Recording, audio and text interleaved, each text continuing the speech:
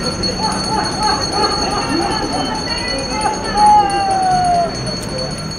Χριστουγεννιάτικο μπαζάρ του Ειδικού Δημοτικού Σχολείου Αλεξανδρούπολης που πραγματοποιήθηκε μπροστά στο Δημαρχείο. Έγινε η αφορμή για να μεταδώσει το Χριστουγεννιάτικο πνεύμα στους κατοίκους της πόλης, αφού τα παιδιά του σχολείου μαζί με τους εκπαιδευτικούς τους έβαλαν τα σκουφάκια τους και μαζί με τον Αγιο Βασίλη, εκτός από τα υπέροχα χειροποίητα στολίδια τους, προσέφεραν απλόχερα όλη τη μαγεία των Χριστουγέννων τόσο με την καλή τους διάθεση όσο και με τον εφάνταστο τρόπο πώλησης των προϊόντων τους.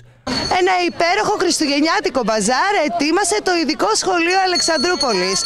Βάλαν τα σκουφάκια τους, πήραν την καλή τους διάθεση και ήρθαν εδώ στο κέντρο της Αλεξανδρούπολης για να πουλήσουν τις όμορφες δημιουργίες τους. Είμαστε από το ειδικό δημοτικό σχολείο Αλεξανδρούπολης.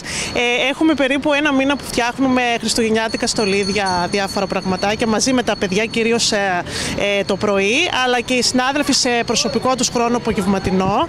Ε, είμαστε όλοι με πάρα πολύ καλή διάθεση. Έχει περάσει ήδη αρκετός κόσμος. Ε, θέλω να πω ότι ένα, το μεγαλύτερο ποσό θα πάει σε έξοδο του σχολείου μας για κάποια πράγματα που θέλουμε να φτιάξουμε.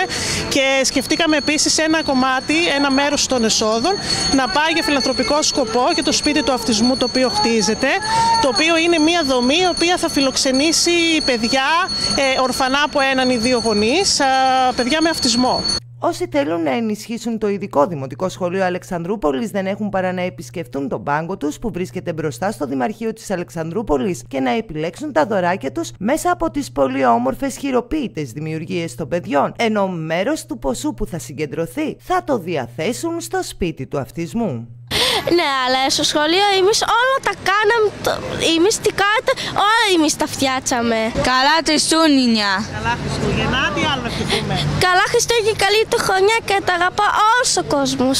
Και εμείς σας αγαπάμε. Καλή χρονιά, χρόνια πολλά. Σήμερα Τρίτη και αύριο Τετάρτη ε, πρωί, 10 με 11.30. Έρχομαι, έρχομαι.